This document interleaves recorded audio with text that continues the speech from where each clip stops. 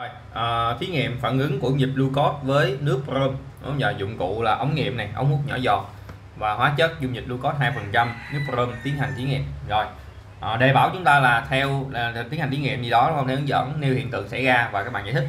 Rồi ở ngay bước 1 thì cho ống nghiệm cho vào ống nghiệm khoảng 1 ml nước brom thì không hiện tượng gì cả thì vì mới tiến hành thí nghiệm thôi.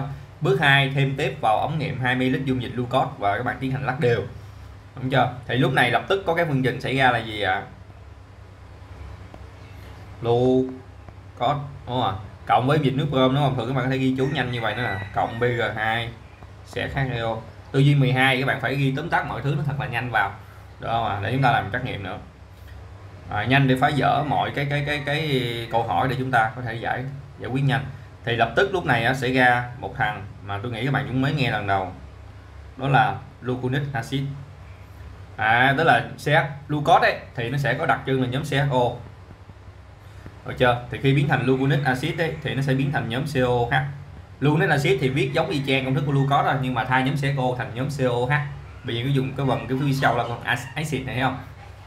Thì lúc này cái hiện tượng đặc trưng là gì? Ạ à? dung dịch nước gom thì ban đầu có màu nâu đỏ đỏ nâu gì đó đúng không? Thì nước gom hiện tượng sẽ bị mất màu. Tại vì cái dung dịch sao phấn ấy, là một dung dịch không màu.